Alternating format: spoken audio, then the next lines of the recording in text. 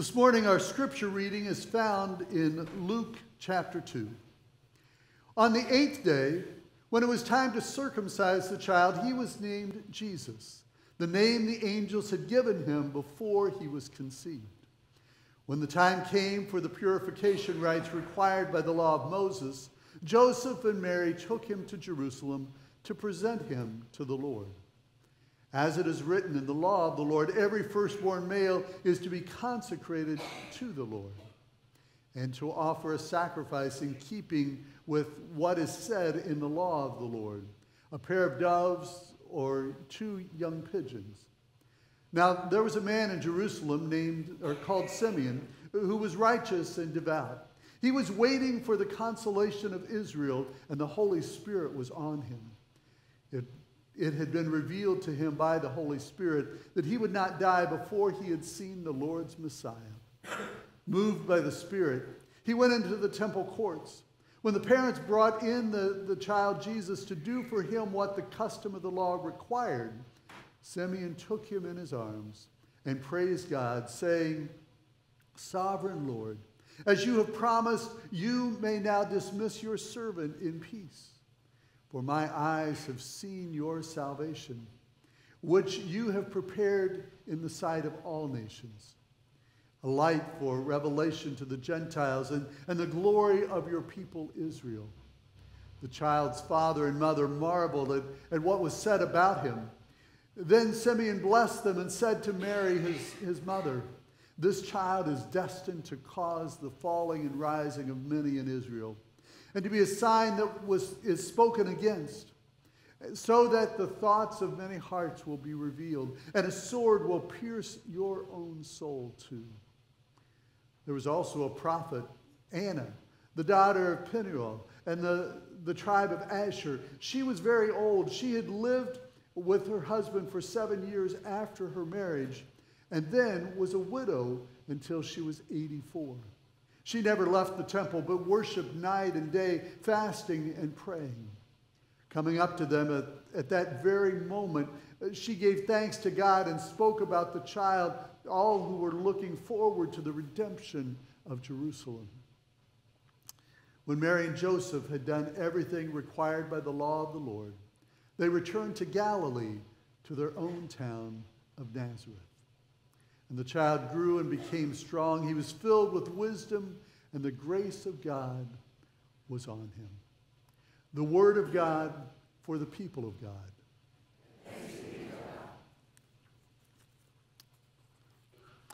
Well, we hear a lot about the Christmas story every, uh, every December.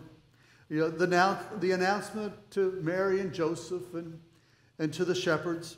Uh, there's the, the birth in the stable and those who come to, to worship and, and adore the, the Christ child. But what, a, you know, as we hear about the, the birth, what about the time between the birth and the, the time of Jesus' public ministry? Actually, as we look in Scripture, we see very little about that, that time between his birth and the beginning of, of his public ministry. You know, in Luke chapter 2, we've, we've got a, one story of when Jesus was 12, of how he and his parents had gone to, to Jerusalem for, for the Passover, and they headed back home. And, and Joseph thought uh, Jesus was with Mary, and Mary thought Jesus was with Joseph. And, and they get a ways out of town and realize Jesus isn't with them. They go back, and where do they find him? He's in the temple talking with, with the, the religious leaders.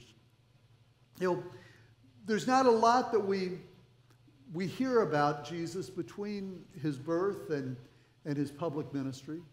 But today we're going to look at, at another piece of the Christmas story that, that sometimes gets forgotten or, or sometimes overlooked. You know, it's uh, when they take Jesus to, uh, to, to the temple to, um, to be dedicated to, to the Lord, to, to keep their, their religious responsibility. You know, then also there's after what we're talking about today will, will come the story of the, of, of the Magi or the wise men who, who come bringing gifts to, to Jesus. Well, chronologically, the next story that is recorded in Scripture after Jesus' birth is found in, in Luke chapter 2, beginning with verse 21. It says, On the eighth day, when it was time to circumcise him, he was named Jesus, the name the angel had given him before he had been conceived. Now, for years, I always thought that circumcision was something that the priest did, that parents would take their, their children to, uh, to the temple to be circumcised by the priest, but, but that was not the case. Actually, the circumcision happened on the eighth day, and then parents took their, their firstborn child to, to be consecrated to the Lord on the, the 40th day after the birth. And so often, what would happen is when, uh, when a child was, was born during those first eight days, particularly if it was the firstborn male, you know, there would be family and friends that, that would come in and, and, and celebrate and try and support the, the family. They would probably um, bring, them, bring them some food, maybe bring them some supplies, bring, bring them gifts. It, it was a time of, of, of, celebration and support. And also, when it came to, to the eighth day when they had the circumcision, it was normally the father that actually performed the, the circumcision, but there were others who, who were there to, to celebrate and, and support them in, in that process. Well, we don't really know who was with Mary and Joseph during these eight days. We know that there were shepherds that came to the stable, but, but we don't know who else may have come to, to give them support on, in that time. You know, other than, than the shepherds, you know, we don't know if there was anyone in the stable, and, and, by day eight, we don't know where they were living, but they probably were not still in, in the stable. But, you know, there were, you know, as they came to, to the day of circumcision, it was also the day that they would name the child. Now, like most parents, that uh, they have some idea what they're going to name the child before the, the child's born. Mary and Joseph knew because of their angelic visitations that that they were going to name him Jesus. But he wasn't officially named until the eighth day. You know, Mary and Joseph circumcised Jesus on the eighth day that was keeping with, with their tradition. You know, when that day came, they followed the instructions of, the angels and, and they named him Jesus. You know, for many years I, I read verse 21 and then I read verse 22, assuming that the circumcision and the dedication of the temple happened at the same time.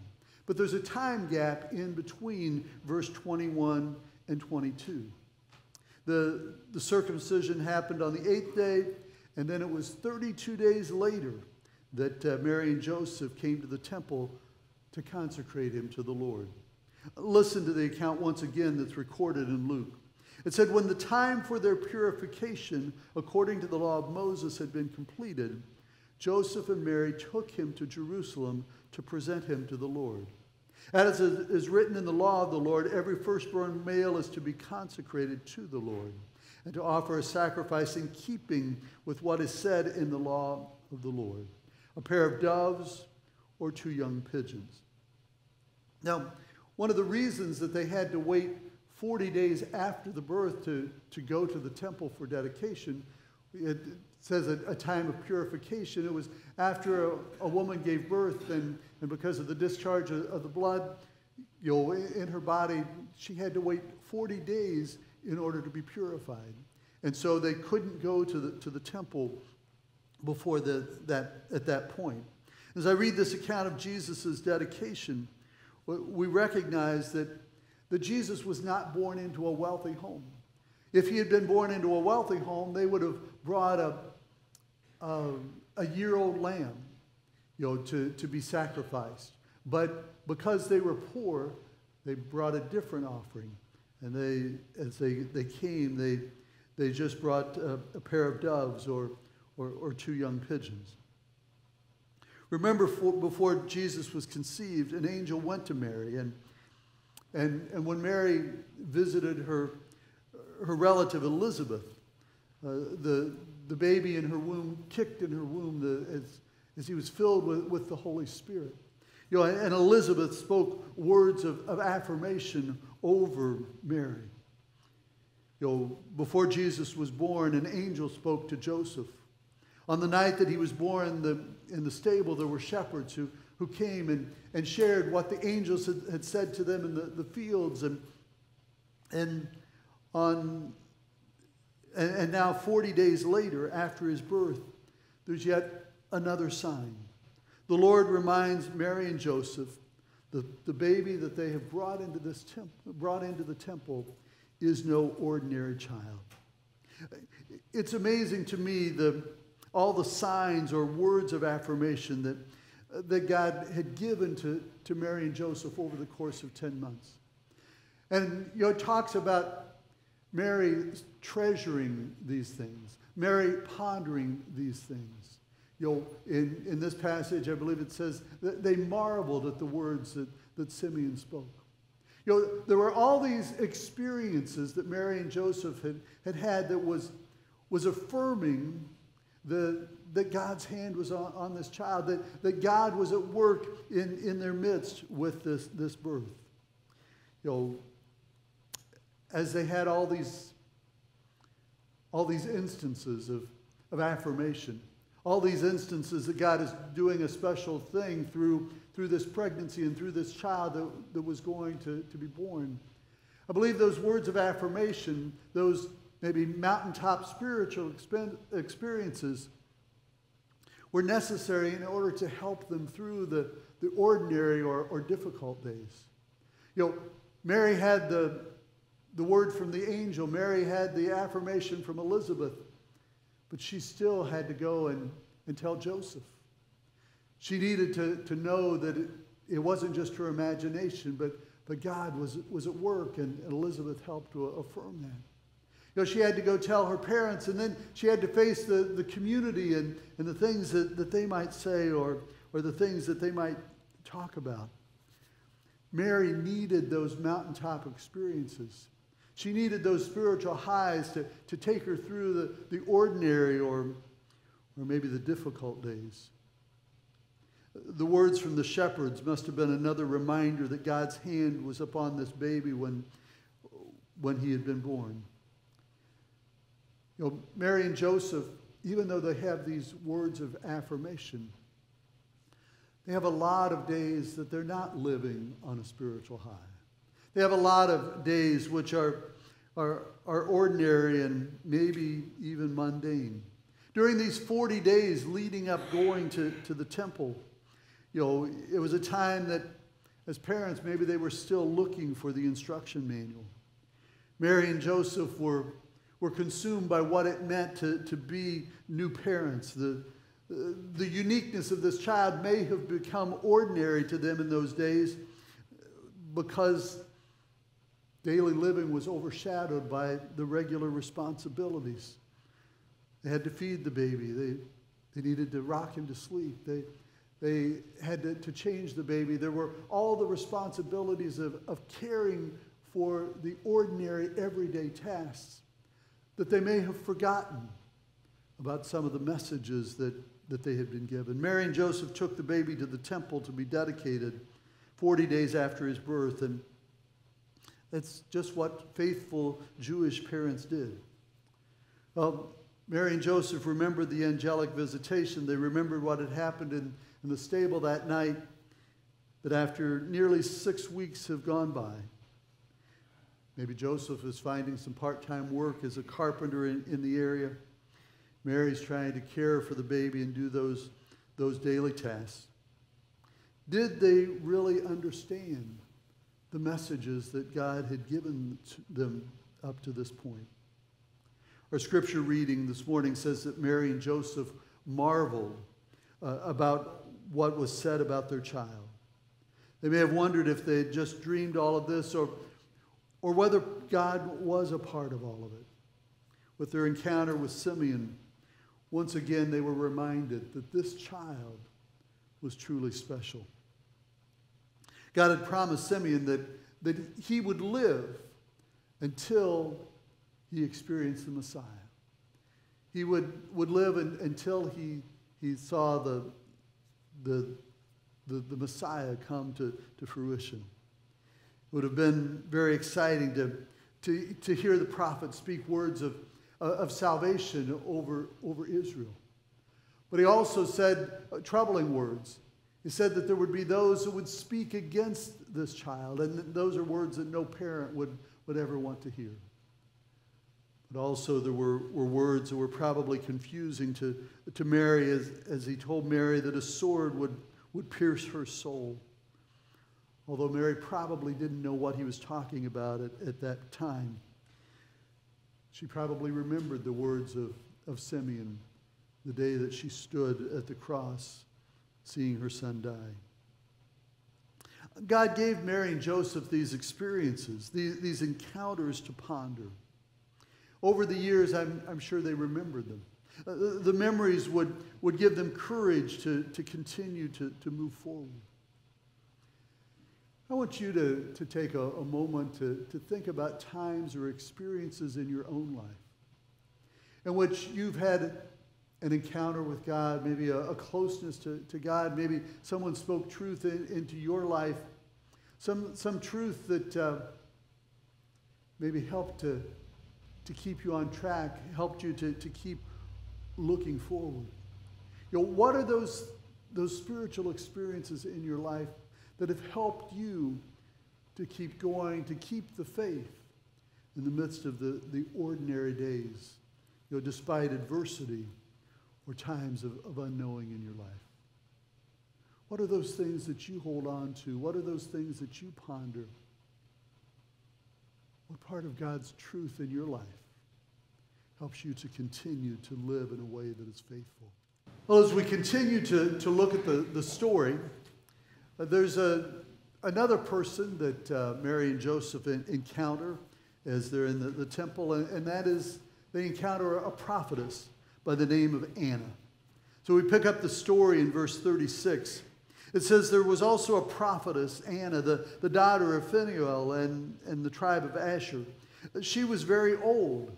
She had lived with her husband seven years after her marriage and then was a widow until she was 84. Now, the New International Version says that you know, she was a widow until she was 84 years of age, while while other versions say that she lived as a widow, you know, for 84 years. So if she lived as a widow for 84 years, you know, probably, you know, 14 was the average year uh, age for, for women to get married in that day. And then there was um, seven years of marriage that would put her at, at 21, and then 84 years as a widow. You know, she may have been over 100 years old. She may have been 105. So whether she was 84 or whether she was 105 or, or someplace in between, you know, she's described as an old woman who has an encounter with the Christ child. It says that she never left the temple, but she worshiped day and night, fasting and praying. Life had not worked out for Anna like she would have expected.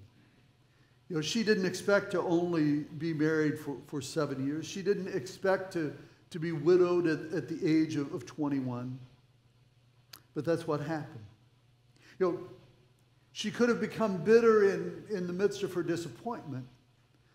But Anna, you know, leaned in and, and fell in the, the arms of God.